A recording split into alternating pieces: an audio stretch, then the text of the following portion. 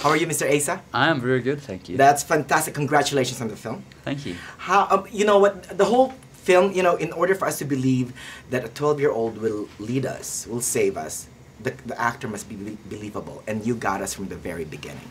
Oh, So good to hear. congratulations on that. Thanks. Now, what attracted you to making the film?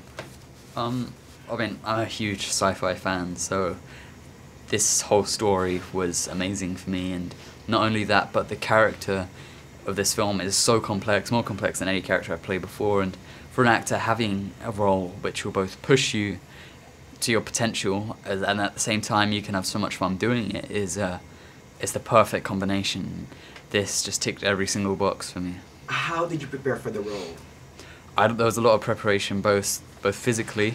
So there's a lot of physicality. It's the most physical film I've done ever, and um, there's also the preparation when bringing such a complex character to the screen and a character which millions of people already love. It's it's always quite a nerve-wracking experience, but I think we pulled it off. And you did, and the character has a lot of inner dialogue that you were able to convey without saying a certain word, a single word.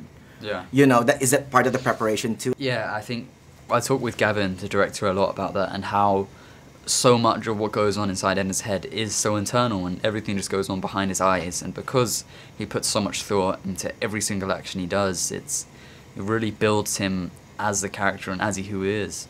And it's why he succeeds so much at the camp. I love all the zero gravity defying um, scenes. Was it fun to shoot? Those were so much fun. I mean, we did have a lot of training on the wires and getting used to be up there for long periods of time. At the same time, you have to make it look like you're in zero gravity. You can't just hang there. You got to be moving your arms. You got to be moving your legs. You have so much to think about. But um, yeah, we had so much fun. Um, how was it working with Ben Kingsley again? You guys have such great chemistry in Hugo. Aw. I love that movie, and it's the same here. Thank you. Um, yeah, working with Ben once was an honor. Twice is like I've been so fortunate, and Harrison as well. I think all of the adult actors really brought the best out of us younger actors, and with Ben, it was amazing to see him play two completely, completely different characters, and the amount of depth that he goes into when creating them. Was Harrison also like a mentor to you in the shooting the film? It, it was to a lot of us. I think whenever any of them came onto set, it was always like, guys, sharpen up. Let's, let's put on our game face. And when he's there, just observing them and watching him what do what he does is is really inspirational, and you do learn a lot. Oh, you know what is what's interesting is I'm from the Philippines. Um, your name Asa, it means hope actually. Oh, really? Asa, I know, right? And it's so cool that an Ender's Game and you're our only. I've. I've learned a few things as to what my name means. Really? This trip, yeah. I know, right? Yeah, what, what else did you learn about your name? I learned in Hebrew it means healer. It means wing in Portuguese. It means little bird in something else. And then it means hope In the Philippines. in the Philippines, yeah. And it's so fitting for you with your character.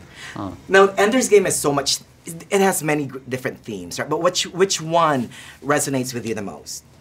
Um, as you said, the the themes in the book are, are really important and really relevant. And for me, for me, I think the theme about leadership is what really rings true, and it's what not just that, but so many people can get out of it.